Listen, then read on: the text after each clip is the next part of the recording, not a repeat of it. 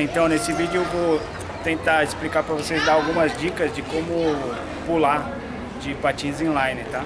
São dicas simples, só que muita gente tem dificuldades, tá? Pra, principalmente quem está iniciando, do, da posição correta que você faz com os braços esticados, tá? Então, é, a dica, a primeira dica, eu vou chegar um pouquinho para trás só para te falar. Eu vou fazer primeiro, depois eu vou ensinar como que faz, tá?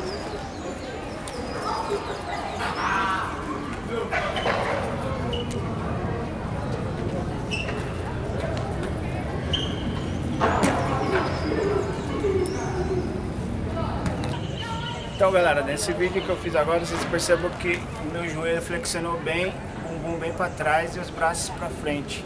Isso daí vai, vai ajudar muito a você não perder o equilíbrio, não cair para trás e nem para os lados, entendeu? Então é um movimento bem importante você pegar, na hora que você descer, tu fazer esse movimento com o joelho bem flexionado. Vou fazer de novo. Agora vocês imaginam uma linha Vou me basear naquela linha pra gente pular a linha, depois a gente vem com o cone pra pular.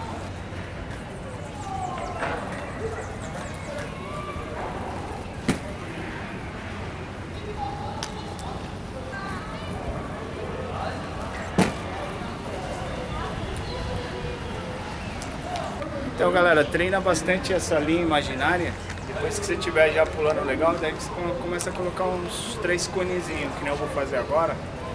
E tenta, é, só tentar bem no movimento, na hora que cair, deixar o, o, o joelho bem flexionado e o bumbum para trás e os braços também.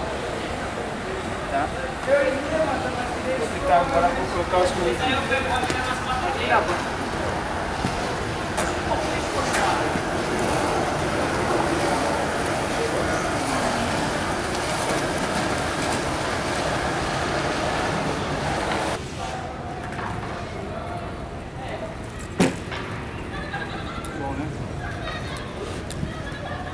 Galera, outra dica muito importante para você também pegar é, mais equilíbrio no pulo é fazer o pulo em 90 graus. É, você faz um pulo 90 graus e volta, que nem eu vou fazer agora. Braço esticado.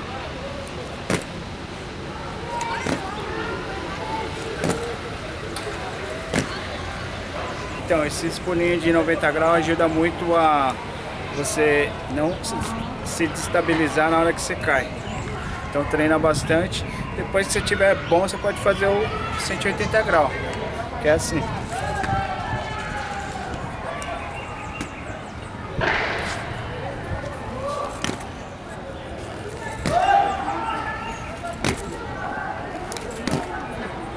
Isso aí ajuda bastante também no equilíbrio. Que a tendência quando você pula é sempre se destabilizar e cair para trás ou perder o equilíbrio e ficar sambando. Então, treina bastante daí. Valeu!